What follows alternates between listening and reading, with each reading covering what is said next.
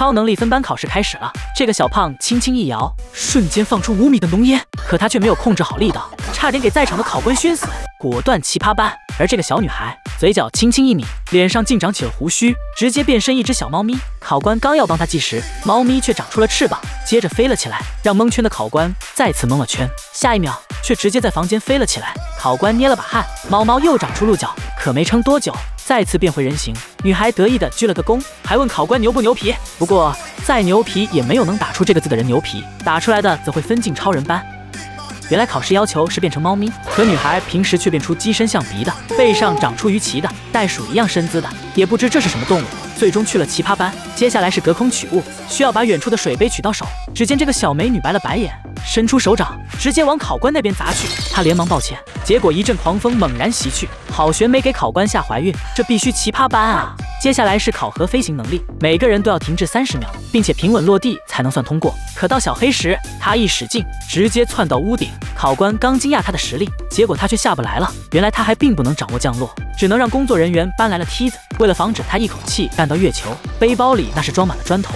下面是考核火焰魔法，需要在距离间点燃蜡烛。蓝衣服的伸出小拇指，直接窜出一道火焰，轻松点燃。最终通过层层选拔，一共四人进了奇葩班。校长对奇葩班十分歧视，甚至随便找了个劳工当他们的班主任。所有人被带到外面，班主任直接打开仓库，里面露出一排神秘的扫把。卷发女激动坏了，她知道变成哈利波特的机会来了，并露出你表情包里的第四个表情。她直接骑在扫把上冲了出去，结果刚来到半空，她却摔了个底朝天。原来这只是普通的扫把，让他们给校园扫地。可扫着扫着，此时超人班正在上课。他在一旁偷听得津津有味，甚至记起了笔记。为了近距离观看，接着装模作样假装扫地走了进去，看着老师手上的猫咪，女孩一把夺过，可下一秒，猫咪咧嘴大叫，吓得女孩当场变成了不知道是什么动物。还好班主任及时赶来，成功进入控火系的小美却十分不开心。这天老师要求用火焰烤爆米花，奖励那些给视频长按点赞的人。小美以为自己的魔法天衣无缝，一旁的老师走来，刚吃了一口却吐了出来，差点牙都给她个掉。小美只好来到图书馆，默默学习提升魔法。可这时，一本黑书自己冒了出来。小美刚好奇的打开，结果灯光却自己熄灭，合上后又恢复正常，吓得她赶紧就把书放回原位。回到房间的她刚想喘口气，结果黑书竟出现在床上，接着魔法书竟然自己翻动了。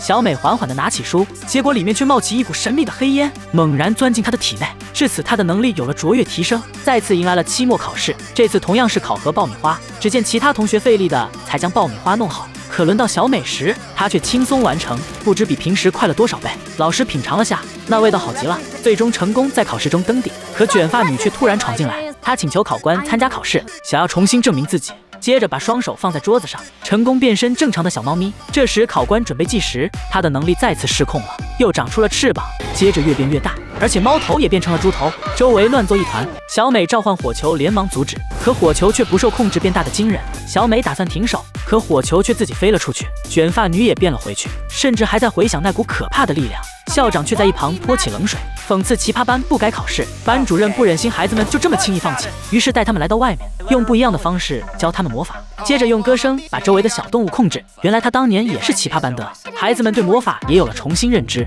他们开始逐渐突飞猛进的进步。小胖能更好的控制烟雾，卷发女也能变成指定的样子。一年一届的校庆很快就到了，此时小美却露出了真面目。只见她召唤出大火球，当场变身成为黑雾怪物。扬言要毁灭这里的一切，场面乱作一团。学生们纷纷使出狮吼功，召唤远处的猛禽，可雄鹰却胆怯地逃跑了。接着，学生们合力凝聚大火球，可攻击出去却毫无作用。一群人想飞天迎战，结果被怪物瞬间就被定在原地。变身班就更不行了，只能变成小猫小狗，丝毫没有战斗力。老师们刚想合力操控，怪物竟长出分身。这时，班主任带着奇葩班的学生纷纷赶到，胖丫轻轻一捏，怪物被瞬间合上。小胖则使出烟雾阻挡怪兽的视线，而卷发女则变身出龙猫，在空中与怪物对战，怪物也被成功击倒，变回人形的卷毛妹拿出她的主角光环，对着怪兽当场一手小燕子穿花衣，直接把怪物感化，唤醒了体内的小美，成功的让怪物原地爆炸。超能力不分贵贱，